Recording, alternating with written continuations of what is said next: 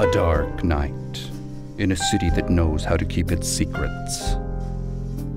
But on the 12th floor of the Acme building, one man is still trying to find the answers to life's persistent questions. Van Doyle, Private Eye.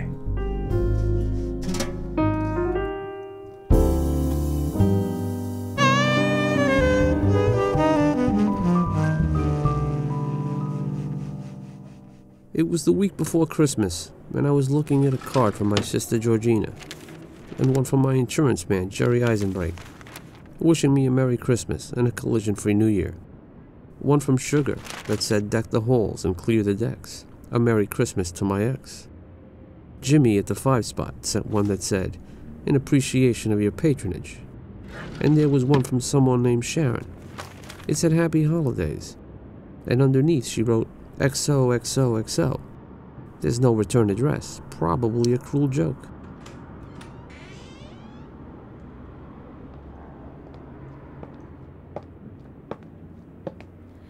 Mr. Doyle? Van Doyle? What can I do for you? My name is Kathy Kirkpatrick, and I need your help, Mr. Doyle. I'm desperate. I'd seen her before, but couldn't remember where. She was the sort of woman who, the moment you looked at her, a guy sort of instinctively starts to go on his knees. She was blonde and her skin was like melted caramel. And she looked like someone whose job it was to escort you to heaven and fit you with wings. You've got to help me, Mr. Doyle. I'm in a terrible situation. There are women to whom a man might say no, or I don't think so, or maybe later. This was not one of those women. She was a woman who made me feel privileged just to breathe the air she had recently exhaled. But something seemed strange about her, something mysterious, as if she was hiding something. Is something wrong, Mr. Doyle? No, just uh, an old heart condition triggered by beauty. That's why I stick to the office as much as possible. What can I do for you, Miss Kirkpatrick? Mr. Doyle, it's the weekend before Christmas, and I absolutely can't find a Christmas gift for my boyfriend Bob. He's about your size and your age, and well, I thought you might have some ideas. At the mention of a boyfriend, I felt a cold chill in my heart. My first idea was to kill him with a clothes hanger, but I decided not to mention it. Tell me more about your beloved Miss Kirkpatrick. But do you mind if we do it around the corner at the five spot? It's a little bistro for the broken-hearted. We went to the five spot, and the place was empty. Hiya, Van. How's everything going? Just fine. Jimmy, this is Miss Kathy Kirkpatrick. Pleased to make acquaintance. But have we met before? You look, uh, awful familiar. Oh, I'm sure we haven't. Maybe order now? I'll just have a glass of white wine. Okay, Van? I'll have the usual. Okay, coming right up. Do you have today's paper, Jimmy? Sure I do. I bring it out with drink. Oh, Van, you don't really need to read the paper, do you? She began to fidget in her seat as if she were positioning for a better getaway. I wondered what I did wrong. I'm just going to look through today's headlines. Why don't you tell me more about your boyfriend? Mr. Doyle, maybe it's best I leave now. Miss Kirkpatrick, why would you leave now? We just ordered our drinks. I'm sorry, Mr. Doyle. I really should. She left so suddenly, I didn't even get to say goodbye. She was gone. Here is vodka. And then, your vodka martini with string bean and today's paper. I looked down at the newspaper that unfurled in front of me. The front page read, Young woman affiliated with the mafia, wanted for murder, is still on the loose. Curious about the story that made the front page, I read on. The woman, Kathy Kirkpatrick, is linked to the well known mafia boss, Vinge de Maria, for whom she lures male victims. She has assisted in the murder of three men. Any contact with her is said to be very dangerous. I jumped out of my seat immediately. I felt my heart had been ripped out by the cold hand of a temptress. I had to find her. Her beauty had me in a complete trance.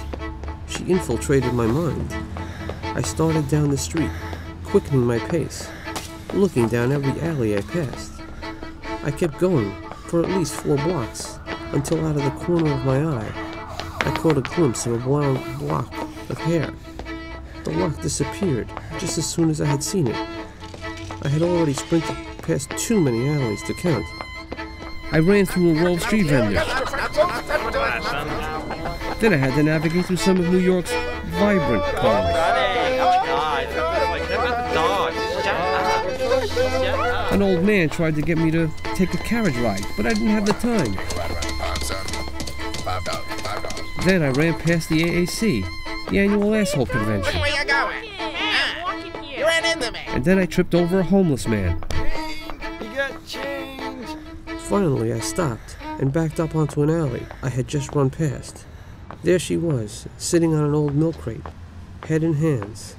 Her curly blonde locks fell in her face, dripping with tears. Miss Kirkpatrick, why did you really come to see me? I'd heard about you from a friend. I heard you can fix problems. And I got a big one. The problem doesn't have to do with your boyfriend, does it?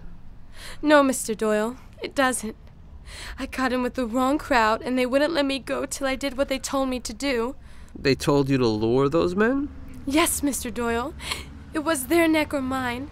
You were next on their hit list. So they sent me to. Wait, I'm on a mafia hit list? That's not important. I was never going to hurt you. I volunteered for this job knowing you could help me get out. You're my only chance to escape. Miss Kirkpatrick, I'm sure I can help you if you only just come back with me. Mr. Doyle, please. I just need to get home where they won't find me. Where do you live? Piscopatawada Quadimagin on the Penobscot Peninsula. It's in Maine. Yeah, I've heard of that place. Where they make that Penobscot isotropic cough syrup made with pumpkins, pea pods, peach pits, poppy seeds, and papyrus. Pumpkins, pea pods, poppy seeds, and peppercorn. Oh, no papyrus? The papyrus is optional. I never knew that. But, Well, Miss Kirkpatrick, you know I'll do anything to help you. so, I'm a private investigator, honey. The best I can do is get you a head start. I guess this is goodbye? Regrettably, yes. Thanks, Mr. Doyle. Before I leave, I just wanted to let you know that it's not you, it's me. I don't think that saying works in this situation. Oh, right. Thank you, Mr. Doyle. I'll see you around. Sure, any time, Miss Kirkpatrick. With that, I let her go. She briefly stopped to kiss me on the cheek before walking out of the alley. Her blonde hair flew behind her in the wind as she turned the corner out of sight.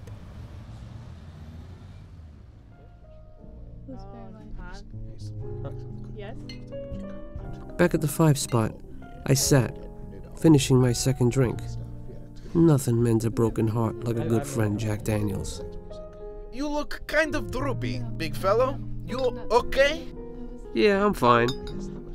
You like eggnog and vodka? No thanks. You sure? I'm sure. I bring vodka. Good, I bring vodka. She sure was beautiful, wasn't she?